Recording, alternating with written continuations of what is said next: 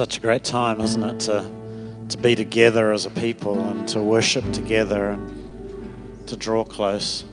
I was sort of thinking about the, um, the whole thing of the temple and, you know, the different places that different people got to, got to be. Some sort of almost excluded, some sort of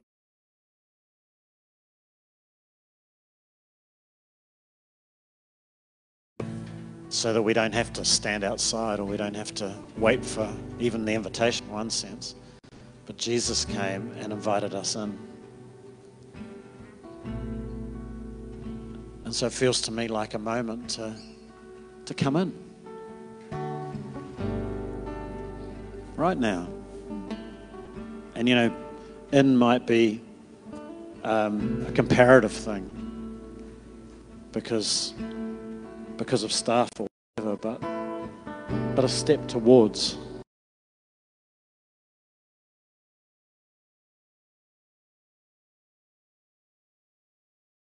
A, a beautiful invitation.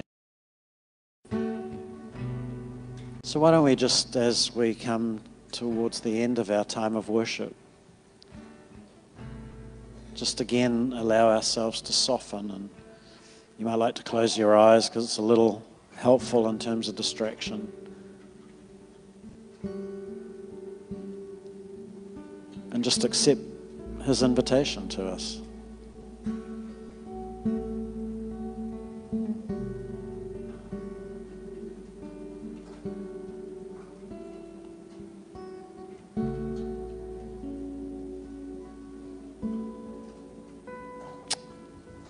Let him melt you. Let him love you. Let him choose you. You could choose him, but maybe he wants to choose you today.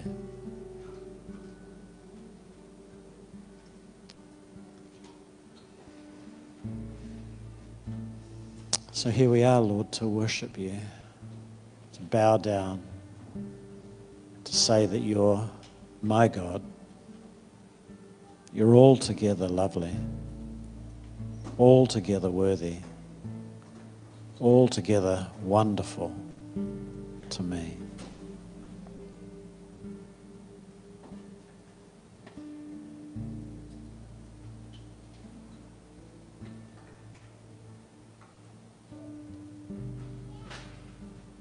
Thank you, Jesus. Amen. Bless you guys, and uh, please be seated. Welcome to Shore Vineyard this morning. Hey, this is your great opportunity to say hi to somebody next to you. I'm going to talk to our Facebook Live community. Uh, don't be shy, crossing the room, that sort of thing, and we'll be back with you in a little while. God bless you all. So, hey, kia ora, uh, kia ora uh, koutou. Um, lovely to be together with you today. I'm Vic Francis. I don't think I introduced myself. You met Olivia just now. Um, we're just uh, lovely, lovely time of worship this morning. So a great opportunity, really, to be together as a church um, and worship.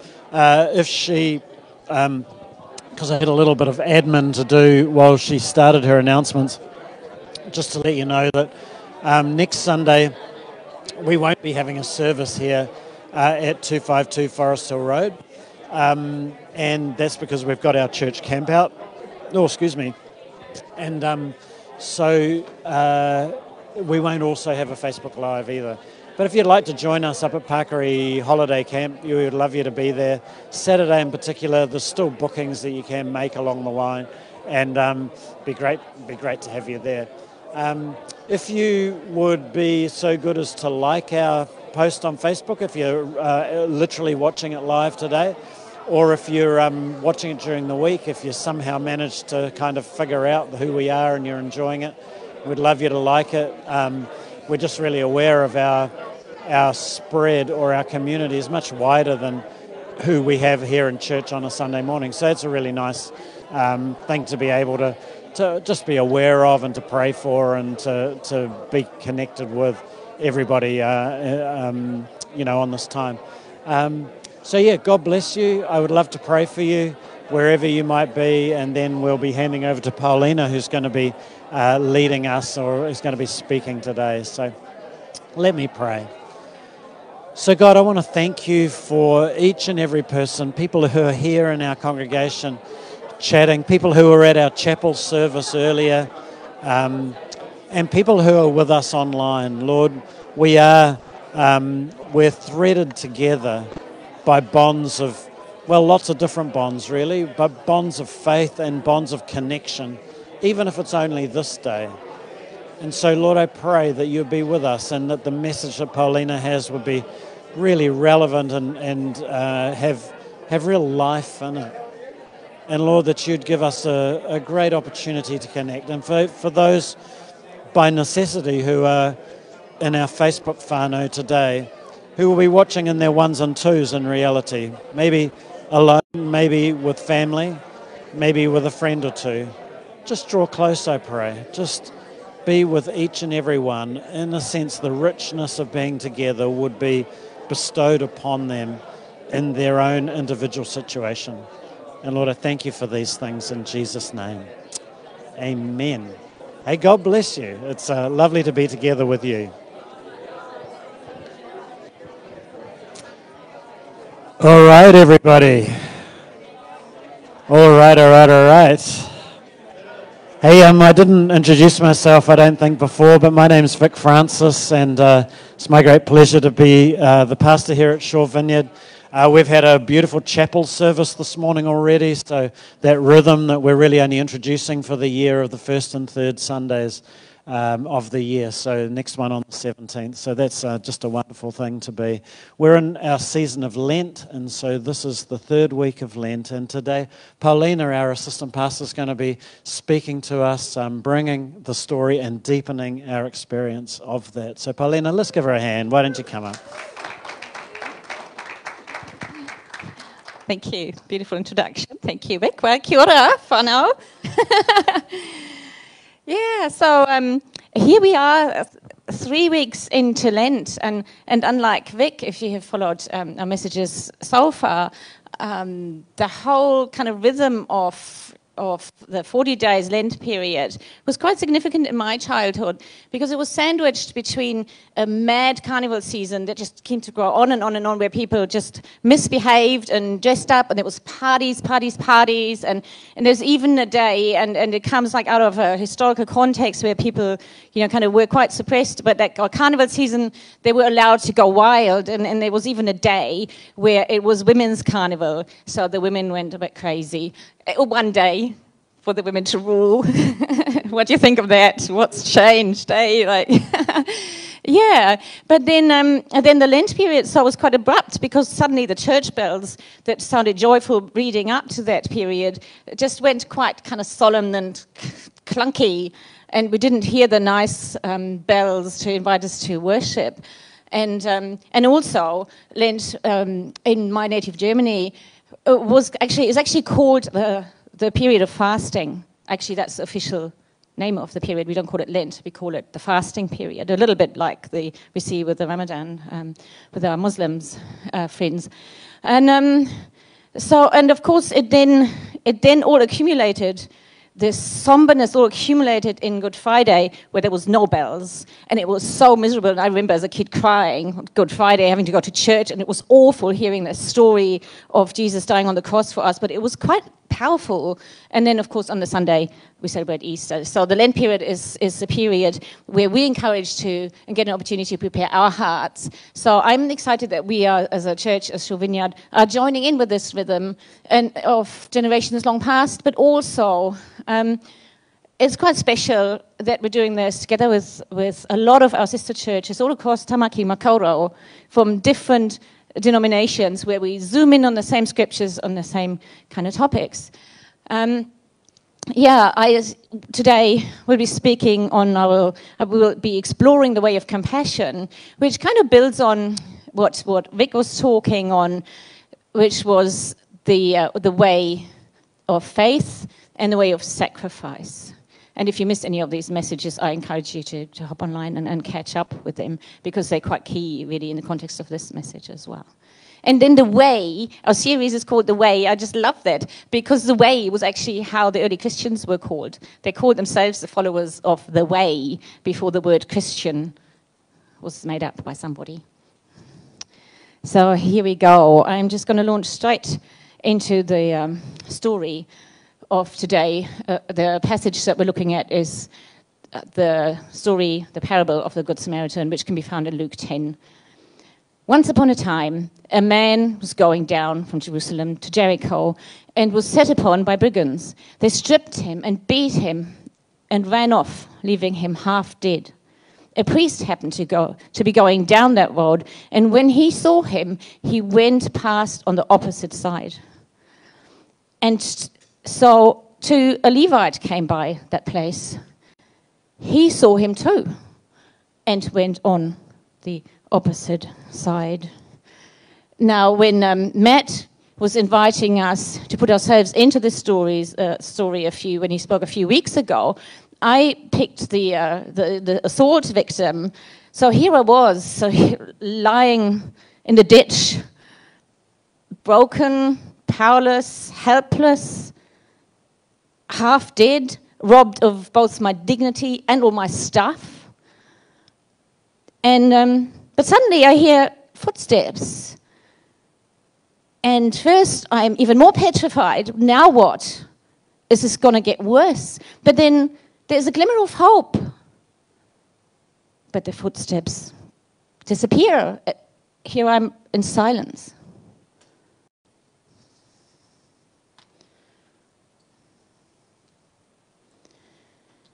But a traveling Samaritan, we hear, came to where he was. When he saw him, he was filled with compassion he came over to him and bound up his wounds, pouring in oil and wine. Then he put him on his own beast, took him to an inn, and looked after him. The next morning he was going on his way. He gave the innkeeper two days' wages. Take care of him, he said, and on my way back, I pay you whatever else you need to spend on him. So suddenly my fate changes. After a bumpy ride in and out of consciousness on this, on this animal, in absolute horrendous pain, I just find myself suddenly on a, on a mattress. I wake up on a mattress looking at the eyes of this caring person. And the next thing I wake up, I just feel like maybe there is hope for me that I will get through this. As before, all I wanted to do is just die rather than have to live with this pain.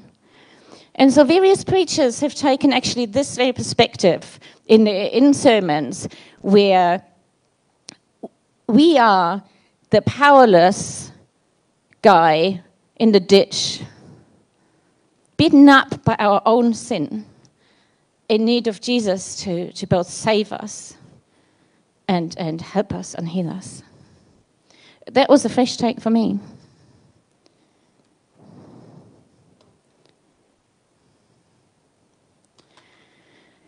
As um, Makavita prayed beautifully, God in the Bible is referred to as the Father of compassion and sometimes addressed as the God of mercy. And we see that Jesus himself was moved by compassion. I like that expression, being moved by compassion, because there's something like a moving, uh, a going out of your heart towards someone, isn't there? There's a moving, being moved in, an emotional way. And from that place of vulnerability, you're moved to action, to actually do something and to actually care for this, for people in need. And the difference between empathy and compassion then is that, that the empathy I, I feel what the other person is feeling, but the compassion is what moves me to actually do something and, and care for people. So um, I'm taking from this that compassion is actually an attitude, heart. But let's, let's have a look at some examples of how Jesus himself was moved by compassion because he, of course, is our example for everything and how beautiful that he only did as what the Father was doing and, demonstrated to us how, how we should live. So Jesus was moved by compassion with the crowd as they seemed like sheep without a shepherd, and that is just before he started feeding the 5,000.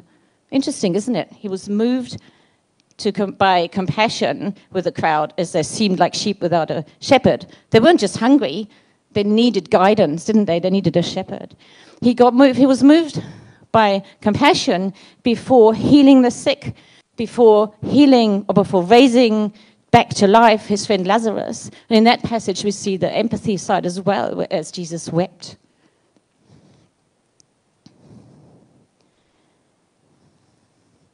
But the rhythm of, of Jesus' life, we've learned, was that he withdrew often to spend time alone with the Father. He spent time on his knees to discern the will of the Father, to be filled afresh with the Holy Spirit.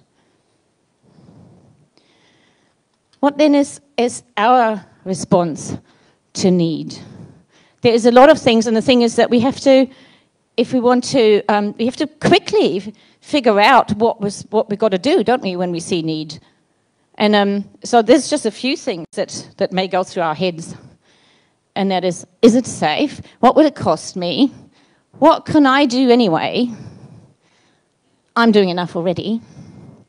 I am too busy, too tired. My health, my family needs to be my priority. It's their own fault that they've gotten into this trouble. Now, of course, we need to consider the cost of helping, of caring, don't we? And, um, and, and one of them is the cost to our own safety. And um, Gavin De Becker, who he's an expert in, in safety, he wrote this amazing book, The Gift of Fear. I, I really highly recommend it. It's so interesting. But what he says is, is this to be able to keep ourselves or others safe from violence, so that's the context. Am I safe from violence or, or whatever else? We must see the other as being human, like me. That person I'm now scared of is human like me, and it's by recognizing the sameness of their fears, of their needs, of their need of acceptance, of their hatred of being, being humiliated in public, or whatever it may be, of having hope by putting ourselves into their shoes, we can actually intuit what they were going to what they were going to do next. And this is advice from somebody who's advisor to presidents in the states. He's helping actors that are being stalked and and people in, in domestic situations or whatever. And this is his key message that we need to see the humanity in the other. Sounds a lot like Jesus, doesn't it? And then, speaking of one more thing about, about the cost, is that let's go back to that story of the Good Samaritan and this super generous Samaritan who helped. Had you realized that his help went only as far as to get the beaten up guy back on their feet? He didn't invite him to live with him. He didn't give up everything else that he was doing. He was still going on his journey and asked someone else to care, and then he provided.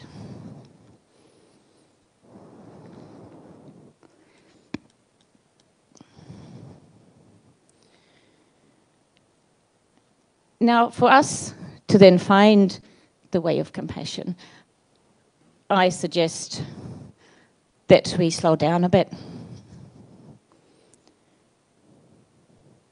How am I going to intuit what the other person is doing if I don't slow down a bit? How do I even see the person with all my rushing? How am I going to hear what Jesus wants me to do and abide in the Father, like Jesus told us to, to abide in Him? How am I going to do that if I'm rushing around? And then another challenge is I think that we need to re examine our view of success and I'm just as guilty as, as anybody. Uh, it's very tempting in this kind of society to just be driven and driven and driven by what we call success, which is often performance. And we do need, I think, to find a real motivation for running or for helping, but especially for just running to the other side. But then it also, this makes me think of some people just seem to just be so attuned to this way of compassion, don't they? And it makes me think of Hannah, who we, who's just gone off um, on, on a mission journey with the mercy ships. And isn't it wonderful that we kind of have to confide on her gift of compassion, on this mercy gift that she has, and, and help her do what only she can do? But these compassionate types, these people with the mercy gift, they do need to realize, they need to be, be careful that they're not going to be sucked into being manipulated or doing what maybe somebody else should be doing. There needs to be something left for us to do. Otherwise, we can all go home and just rely on, on the caring types that you see in, in nursing and, and other professions.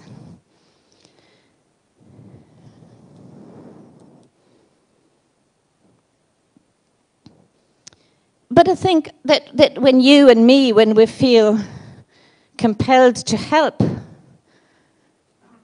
when you, you become aware of a suffering, if you just think of a time where you helped somebody, you just somehow you just knew that you needed to do something. You were grabbed, weren't you? You were moved by compassion, and that sort of thing can happen quite naturally.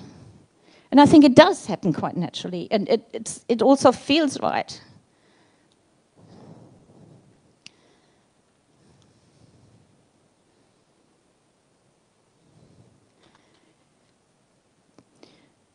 And I think that for those of us who can find it a little bit difficult, and if you do need like a little barometer in terms of how your compassion levels are going, just think about how you're speaking with your loved ones or how you're you thinking in your car.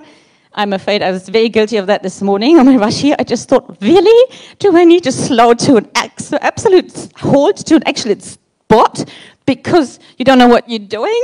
And it happened again and again, and then suddenly you have to go 30 when in the 50 area and stuff like that. And I was thinking, oh, I didn't have much compassion for these people. So it's it's a good time to remind yourself to. Um, uh, yes, do a bit of self-reflection now and then, and, and I'm sure I'm not alone, am I? Like, yeah. But I, I do myself. I'm preparing in preparing for this message, I actually was reminded of a time where I was in my early 20s, I was living in Munich, and I was actually moved to compassion to help somebody that was half dead. There's a lot of parallels with the Good Samaritan story. And interestingly, because it was literally, I honestly, I thought he was dead.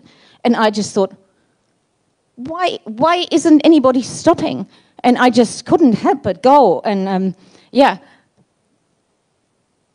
However, there's, as I've said, I think there's people also that that I myself would consider and treat with contempt. But interestingly, that time where I helped because I just couldn't help myself, I just couldn't not help.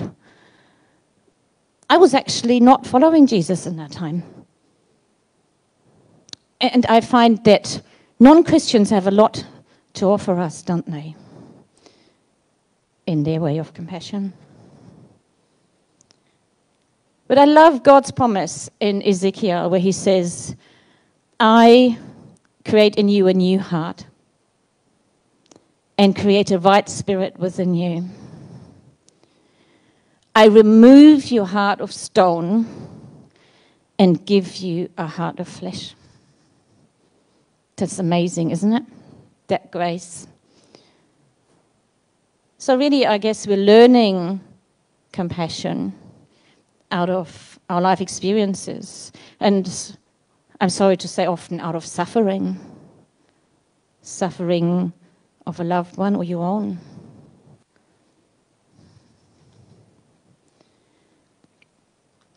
But I'd like to take us back to the um, our passage, the story of the Good Samaritan.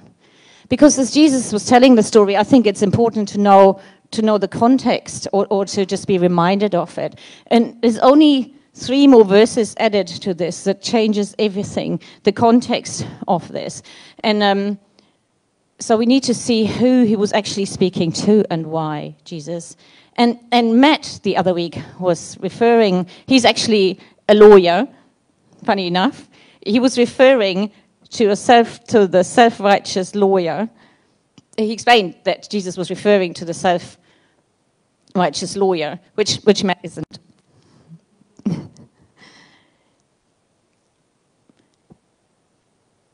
so the question that this lawyer asked Jesus was in the context of eternal life. He was saying this What should I do to inherit the life of the coming age? And then Jesus threw the question back, straight back at him. You probably know this story. And asked him, Well, what does the law say? Because he was a lawyer. Well, why is he asking Jesus this question? He just knows already. And sure, he smugly replied, Oh, yeah, I love you, Lord your God, with all your heart and your mind, with all your strength, and love your neighbor as yourself. Um, and then Jesus says, Yep, do that and you will live. Simple. But the lawyer wouldn't let go. He just, so Jesus was actually saying, Well said, do that and you will live. Ah, said the lawyer, wanting to win the point. But who is my neighbor?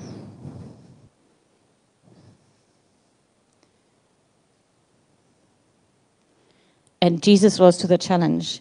And that's when he told, made up this story of the Good Samaritan. That's the context.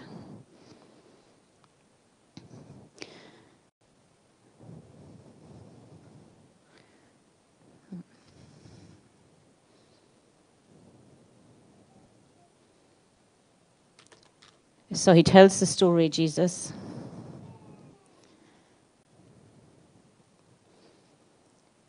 And then he, so he finishes the story of the Good Samaritan taking care of the half dead person. And Jesus is asking, which of these three do you think turned out to be the neighbor of the man who was set upon by the brigands? You see how I twisted the question round? And the reply was, the one who showed mercy to him. Well, Jesus said to him, You go and do the same. So that was the context. And the interesting thing is, the Pharisees hated Samaritans.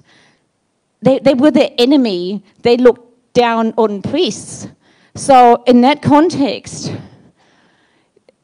the lawyer would have expected, as Jesus was telling the story, oh yeah, the priest crossed to the, crossed to the other side and didn't help. He would just think, oh yeah, of course, yeah, priests. They, but us guys, the Pharisees, I, which certainly it's going to be Pharisee that jumps in and comes to the rescue. But no, it's his worst enemy, the Samaritan, that goes to help. And you can see that the lawyer doesn't can't even say the words Samaritan. And I think he'll be turning in his grave if he knew that we're calling anybody caring a good Samaritan. So, Jesus, as he's. Um, Jesus really, oh, I'm going to read this to get this right. Jesus exposed the prejudice and the hatred of the expert of the law's heart, and therefore his actual lack of obedience to the commandment. He knew the commandment, but he had his own little version, he had his own little systems that it would fit in. And in essence, in essence, Jesus is saying is neighbor can no longer be defined in limiting terms. So in Jude 1 18 to 23, we read, Keep yourselves in God's love as you wait for the compassion of our Lord Jesus Christ to bring you to eternal life. Be merciful to those who doubt.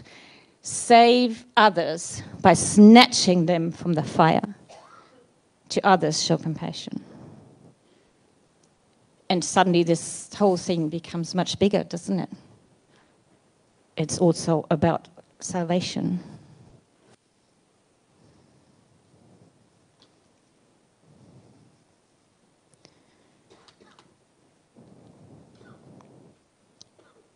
Tom Wright speaking to this passage of the good, of the story of the Good Samaritan, sums it up nicely as he's saying the question now as then is whether we will use all that Jesus is telling us about love and grace as a call to extend that love and grace to the whole world.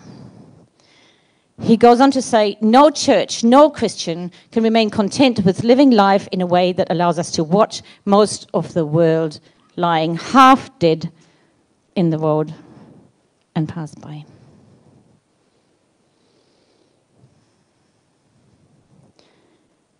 In closing, the key for us then is to go and do likewise, isn't it? We're going to enter in a time of communion. Um, I'd like to invite you to come up and, and grab your juice and, and bread and um, go back to your seats. And, um, and while you're waiting, um, we're going to eat and drink together. While you're waiting, I would like you to take that time to just reflect and respond to what is Jesus saying to you. And it could have been something that came to mind during the worship. It could have been something that came to mind when, as Vic was praying about the softening of heart. It could have been just a thought or an or impression. It could be something in this story of the Good Samaritan that touched you. Please take the time to respond. So please do come up, and I'll, I'll wait for you to go and sit down.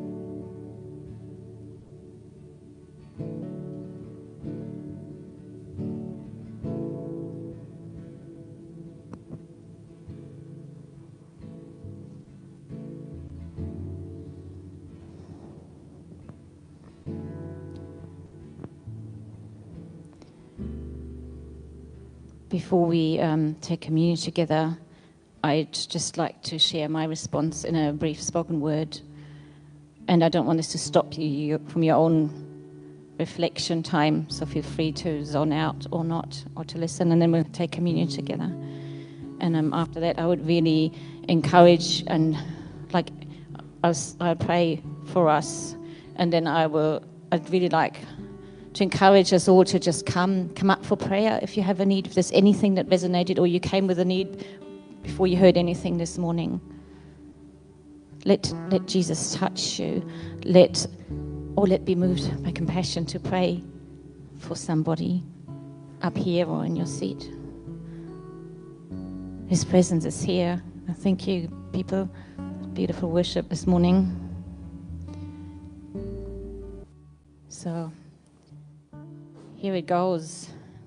Go and do likewise. The words of Jesus taking hold of me. Am I the neighbor who sees, moving closer, or and allows what she sees to move her?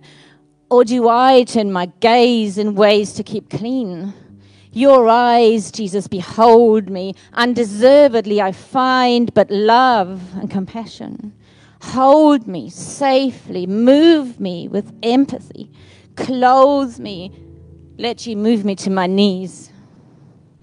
My heart breaks for the broken and now sees.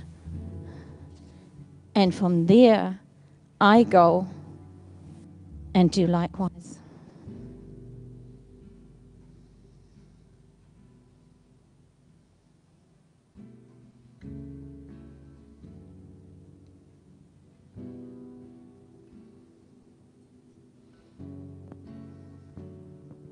Eat and drink.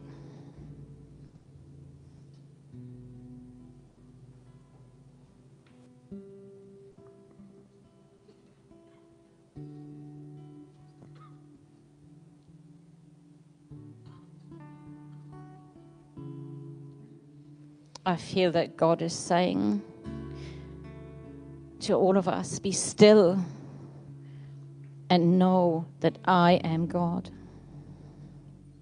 Be still. Quieten your heart. Before me, don't be afraid of the emotional response that can come. And don't be afraid there isn't an emotional response. And it's just something you need to sit with and maybe practice.